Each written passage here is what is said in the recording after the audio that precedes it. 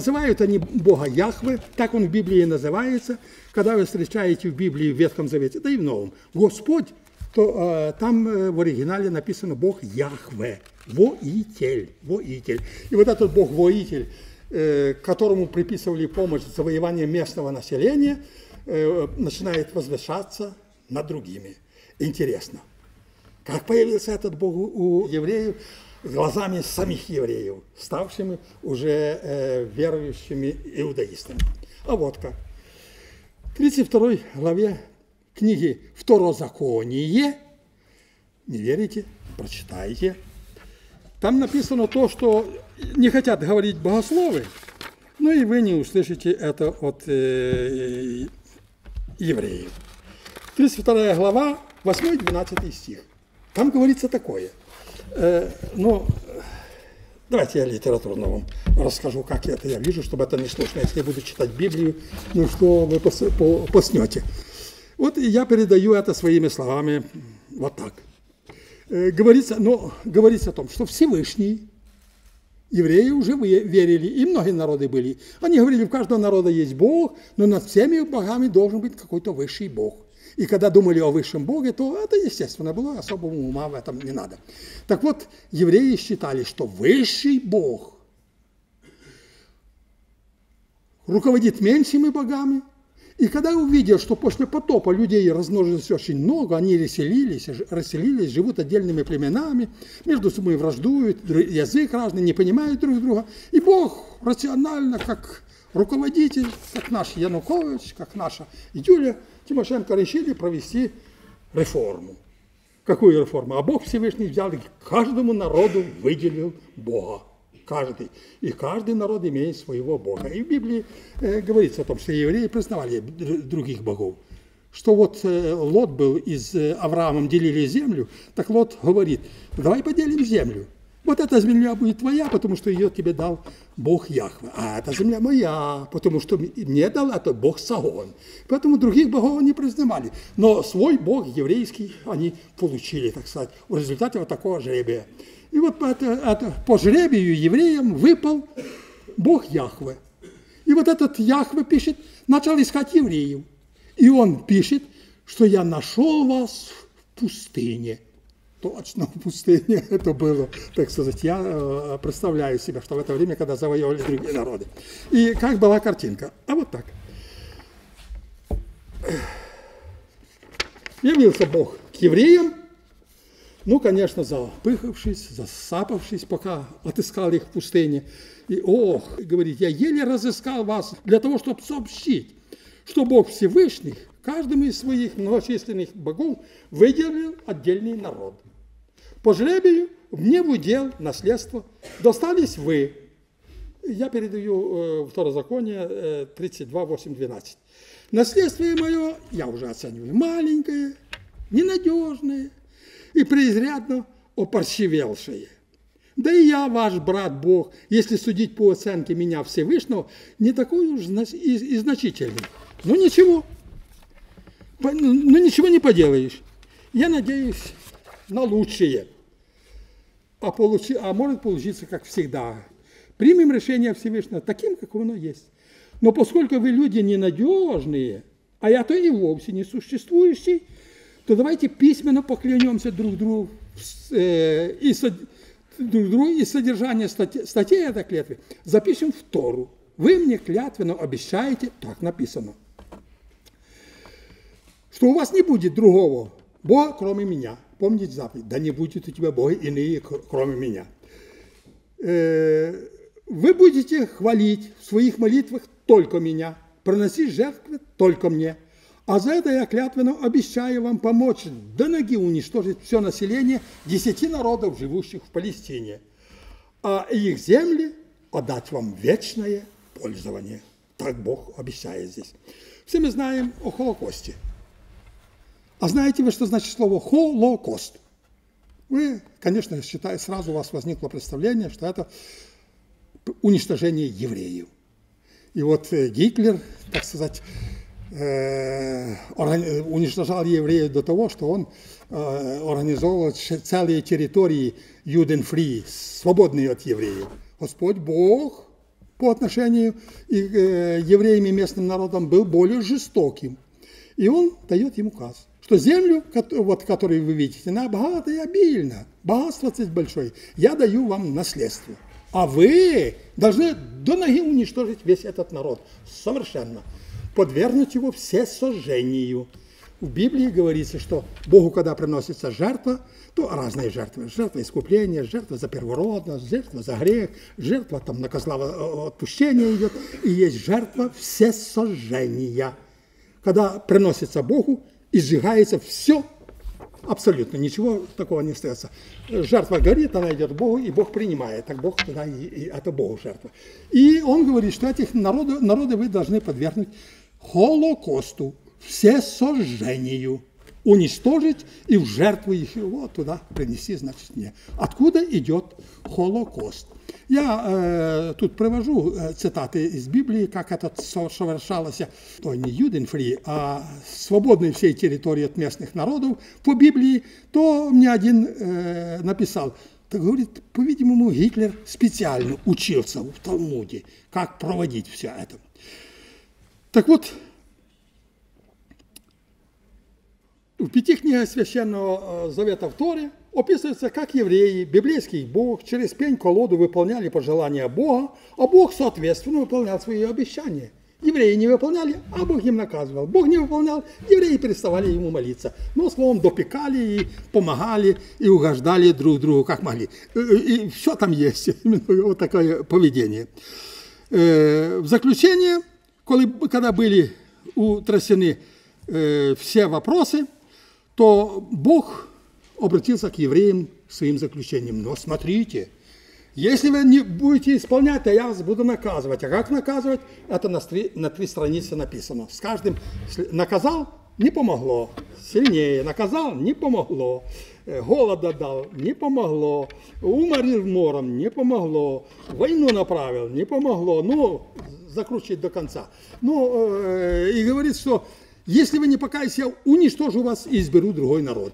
Но э, доходилось, э, всяко было, если читаешь, там э, евреи, этот бедный народ, получил такого Бога, он от него больше всего э, натерпелся. Вот я прочитаю из Библии. Вот первая заповедь. Вот Бог передает евреям через Моисея.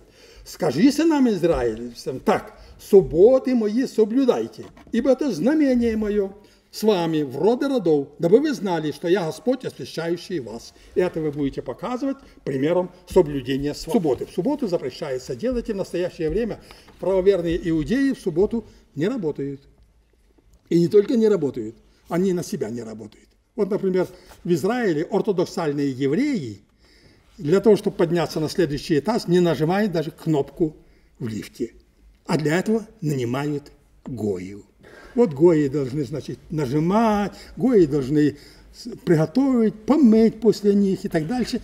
И в прошлом году главный раввин э, Израиля о, Овидия э, выступил и сказал, что Господь Бог нас создал для того, чтобы мы молились Богу, но дал Он нам заповеди. А Гоев для чего Он создал? А Он говорит, Гоев Он создал только для того, чтобы, мы, чтобы они нам служили. Потому что если гои нам не будут служить, то как мы не будем работать в субботу? А э, надо, значит, есть обычай на Пасху. Все, что есть квасное, евреи э, забирают, сметают в узелок, завязывают, и надо по обычаю продать гою. А кому они продадут, когда гоев не будет? Поэтому гои и существуют для того, чтобы обслуживать евреев. А если бы они евреев не, не обслуживали, то смысла их существования совершенно нет. Ну, и дальше Господь Бог дает указания, тут тоже у меня много очень написано, я не буду все э, читать, много, у меня три странички такого текста. Я только скажу, я вам буду цитировать. Второзаконие, глава 2, книга Левит, глава 20, Второзаконие, глава 20. Поверьте мне, что я правильно передаю все. И вот э, когда евреи начали вторгаться в ту землю, которую Господь обещал евреям, он говорит, это Богом данная вам земля от Нила и до Ефрата. Вот только народу уничтожьте. Ну, не, не, не бойтесь, я буду вам помогать, я буду с вами, но мы вместе справимся с этой работой. И вот когда евреи первую войну начали по очищению э, земли от туземцев, выступили против Сигона, то Господь им помог. И после того, как они побили Сигона, то они все, что было у них, э, и мужчин, и женщин, и детей, и девочек, и так далее, уничтожили. А богатство забрали, землю оккупировали. Э, был такой пример, что евреи побили э, следующее племя и увидели, что там женщины красивые, они женщины красивые оставили себе. И еще что-то там, так сказать, что нужно Богу, оставили себе. Бог страшно возмутился и наказал евреев. Или еще был такой пример. Бог дал закон э, молиться только ему. А после этого вызвал Моисея на гору Синай, и там 40 дней и 40 ночей диктовал ему свои правила, законы давал. И Моисей через 40 дней спускается с горы, а видит в лагере песни, танцы, музыка. Что это такое? Э, а оказалось, что евреи решили, что ушел наш пророк на гору, за 40 дней он, наверное, умер уже, наверное, его нет.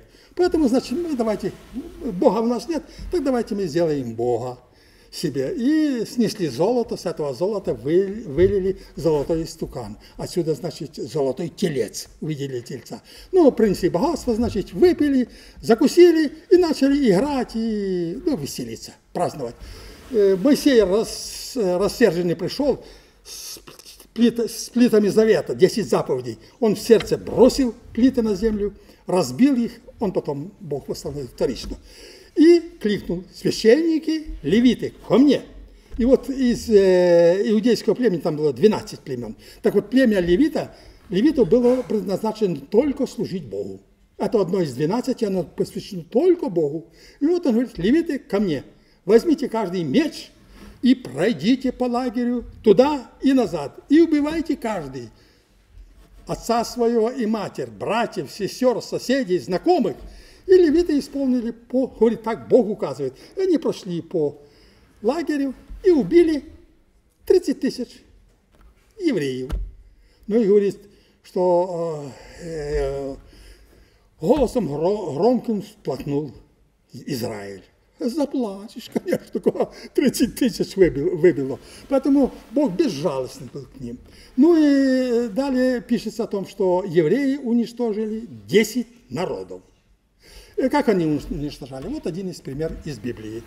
Э, когда царь Давид, любимец Господа Бога, Яхве, пошел воевать против города Равы, то он обложил город Равы и взял его. И далее говорится, и он снял с головы царя Равы золотой, золотой венец и положил себе на голову.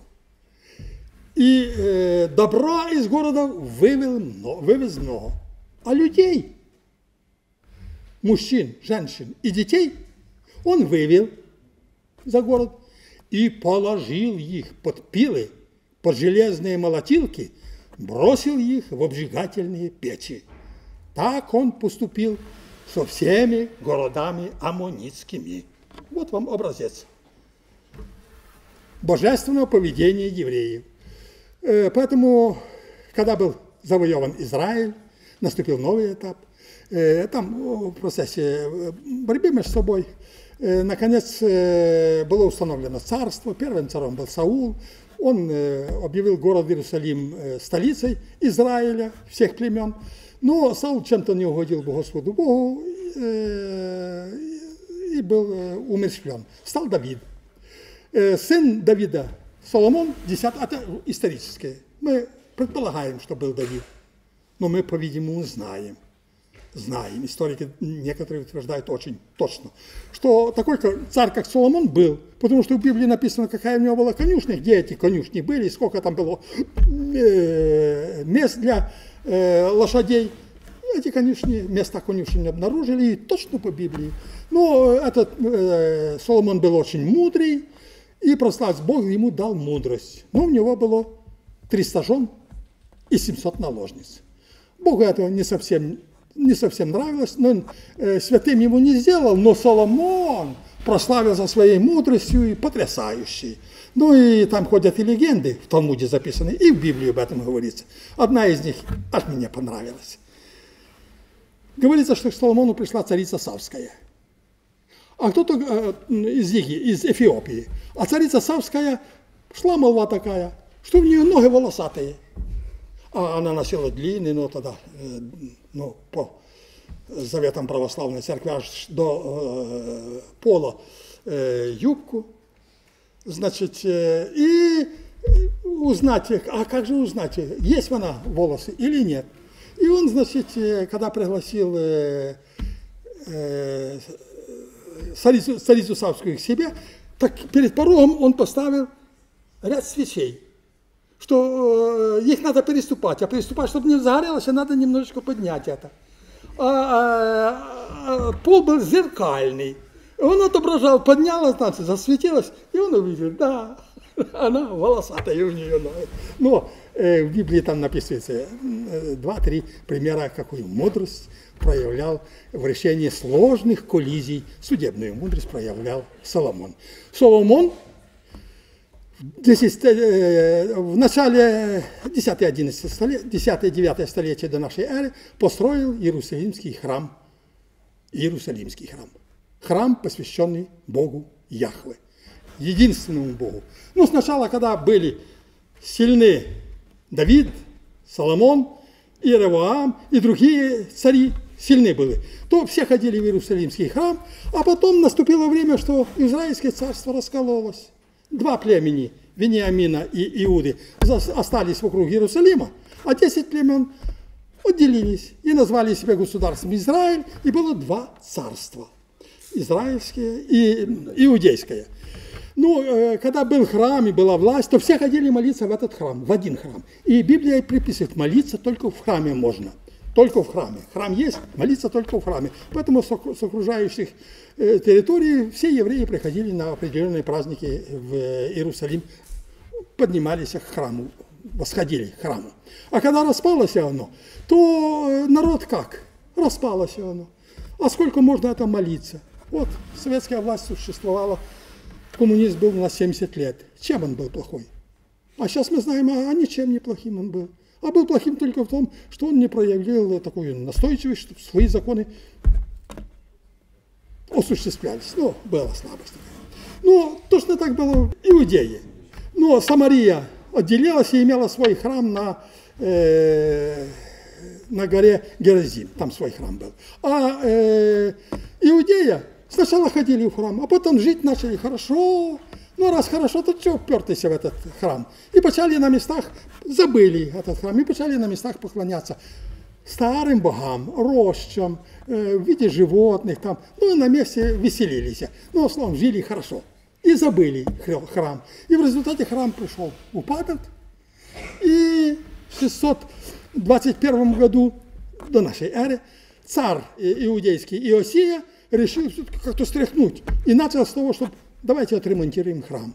И там в Библии описывается, это э, в книге Паралипоменен и вторая книга царств. Пишется, что он направил туда строителей, и эти строители вынесли из храма иудейского Иерусалимского Соломона, вынесли истуканов, вынесли мотлок всякие, вынесли, ну, словом, почистили. Имейте в виду, истуканы были в иудейском храме при э, царях этих. Ну и подверг чистке храм, первосвященник Иос, э, хитрый, конечно, э, мы точно знаем, что он э, решил надуть самого царя и испугать евреев. Он пишет, что не сам, там был, который умел читать и писать. Священник не умел читать и писать.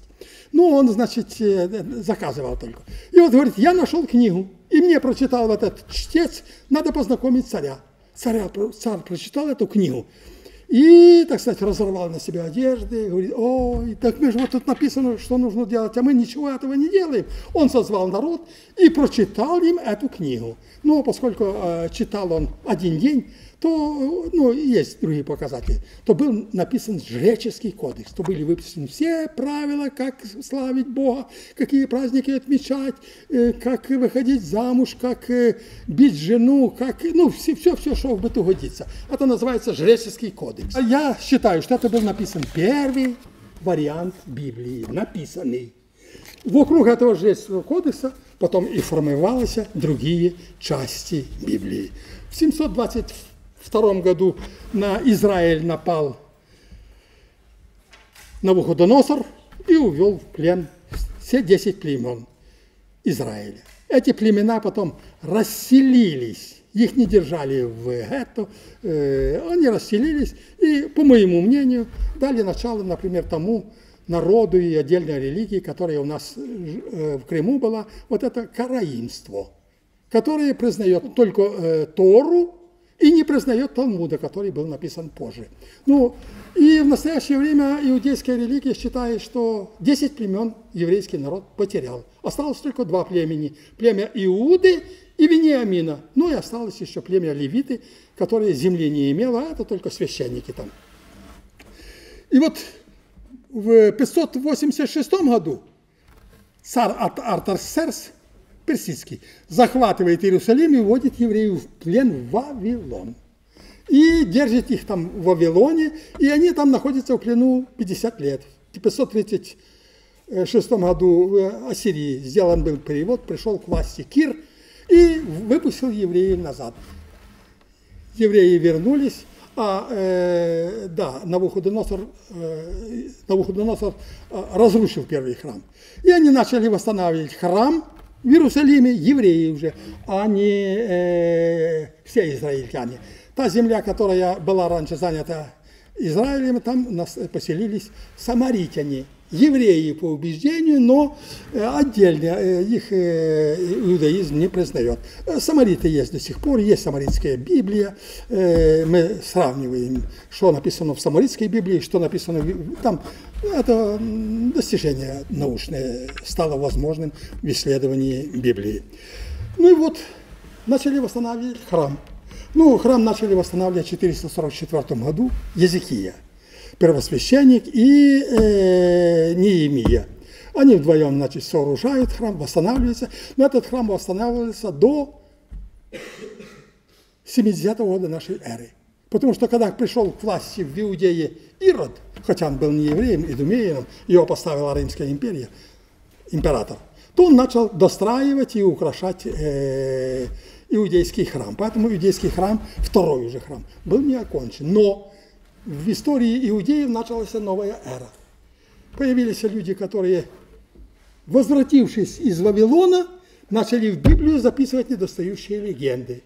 Как произошел мир, Бог створил за шесть дней, как был потоп, э, как, значит, люди рассеяли. Все это взято с Вавилона, э, переделано, так сказать, под... Э, люди, которые писали, назывались пророками. Ну, особенно такие пророки были, видные пророки. Законодатель современного даже еврейского, еврейского языка. Исаия, это литератур, литератор, ну, просто прекрасный. Ну и писатель солиднейший и мудрый. У него мы встречаем выражения такое, которые просто поражают. Умеет емко выражаться. Я э, написал вот это выражение в применении к нашим олигархам, которые раскрадывают нашу страну. В Верховной Раде Э, там один из депутатов в своем выступлении использовал это выражение как свое, что это он придумал. Но какое это выражение? Это выражение Исаия смотрит, что там делалось, и, и написал, злодеи злодействуют, и злодеи злодействуют, злодеи злодейские. Пять слов. Все начинаются с буквы «з». Вот это тоже сильно сказано вообще-то. Поэтому э, эти люди как раз писали пророческие книги, там есть 12 э, пророков и другие книги. И поэтому формировалась Библия. Текст Библии был канонизирован, ну, принят где-то в третьем столетии до нашей эры. И сразу же, когда э, Иудея была завоевана сначала Александром Македонским, ну, завоевав э, обширные территории, Александр Македонский был великолепный и гуманный, и, так сказать, э, космо, космополитически настроен деятель. Он все народы, которые покорил, давал, давал им э, свою греческую культуру, давал им образование, давал им язык и так далее. Поэтому сами евреи оба, обе, обеими руками схватились за вот это эллинский язык и за эллинскую культуру. И очень скоро перестали говорить по-еврейски, и перешли на греческий язык. А поскольку по-еврейски читалось а, только во время богослужения, а Библии не читали, поэтому Библия во втором столетии до нашей эры переводится на греческий язык. Это до сих пор является один из э, ценных э, источников по изучению Библии. А тут э, там легенда создана, это 70 толковников переводили, 70 келий было, и они все 70 переводили Библию от начала до конца, а когда свели, оказалось, что они перевели одинаково, разницы там не было никакой. Конечно, это легенда, но исторически достоверно, что правитель Сирии Птоломей заказал такой перевод, и этот перевод Библии сделан в Александрии. Вот эта Библия на греческом языке послужила одним из источников христианства и в настоящее время входит в состав священной книги христианства Библии под названием Ветхий Завет. Это Ветхий Завет, священное писание евреи. Но в дальнейшем евреи попали под, ну, сначала Сирии, потом от гнета Сирии освободили римляне, но наклали на, на них, э, так сказать, опекали над ними, над царем Иродом. Когда Ирод умер, попробовали восстановить э, главенство э, евреев, восстали, ну, разгромили их, потом второй раз разгромили в 135 году.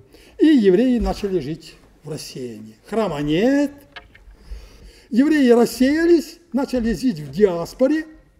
Ну, знаете, что такое диаспора? Это среди э, других туземных народов живет. Поэтому там евреи жили в ряде диаспор, главным образом двинулись на востоке, и главная диаспора была в, в, в Вавилоне, в, в самом Вавилоне, в Персии, но была и по, по всей Римской империи. И начинают молиться уже не в храме, а создают синагоги. И в синагоге становится руководитель уже не левит, а становится руководитель раввин, который знает Библию, знает правила церковные, но поскольку этих правил не, хватали, не хватало для проведения, в жизнь, поэтому у евреев наряду с Библией существовало устное предание – предание устное. И оно существовало и э, циркулировало и при э, организации христианства Христос не один раз обращается к этому Талмуду, говорит, э, что в вашем предании вот то-то говорит. Он имеет в виду э, предание устное. Так вот это предание начали разрабатывать и записывать. Таким образом начал формироваться Талмуд. Талмуд – это учение. Э, в двух местах Талмуд писался. В Вавилоне и закончился в 500 году. Называется Вавилонский Талмуд. И в Иерусалиме называется Иерусалимский Талмуд. Они сведения до еди, воедино. Разница только их публикуют и цитируют эти произведения, хотя в томах последовательно, по-разному.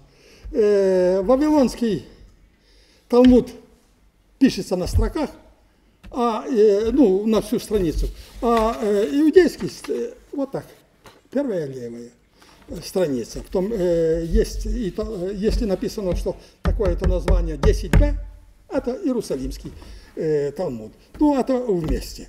Был написан Талмуд, и где кодифицирована была жизнь евреев, как жить.